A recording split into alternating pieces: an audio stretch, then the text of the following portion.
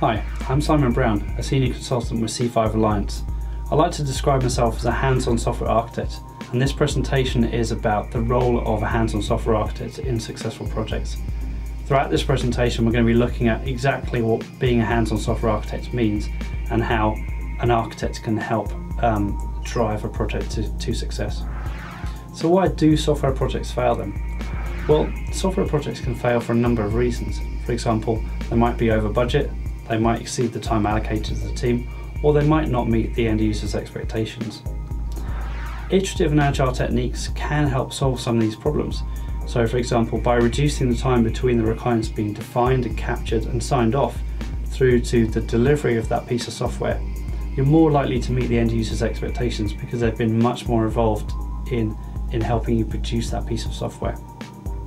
Again, because you're doing this, you have a much greater transparency on the software being developed and that means you can track the costs and the budget and the time much much easier too.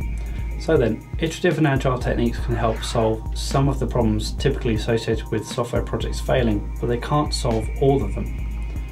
Software is quite complicated and it's quite abstract, and it's really easy for software to get things wrong like the non-functional requirements. So you need to build a highly scalable website. You build a website that functions correctly but doesn't necessarily scale. Again, these things are quite easy to get wrong.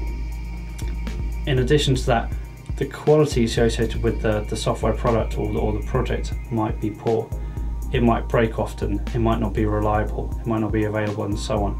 So again, there are a whole bunch of other reasons why software projects fail, and while Agile can't solve those, something needs to.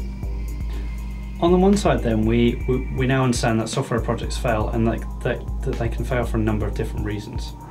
The other piece to our puzzle is that software architects tend to have a bad reputation in the industry, and this bad reputation usually stems from a limited involvement in software projects, and that limited involvement can ultimately lead to projects failing. So let's drill into this some more. The first item we have here is, is that large organizations particularly tend to have a centralized architecture team. And these are the people that they generally hire in, they headhunt and so on. And they bring them in, they put them in an office, elevate them on a pedestal, and these are the ivory tower architects, the thinkers. And these people have a great deal of experience and knowledge to, to share with other people. And they're generally parachuted into project teams when those projects are starting up or when those projects become troubled for some reason. Now, while these architects can bring lots of knowledge to those projects, they can also very easily steer them off track. And they can do this because they don't necessarily understand the business context in which those project teams are operating in. And also, those centralized architecture teams tend to keep an eye on new technologies, um, advances in design patterns, and those sorts of things.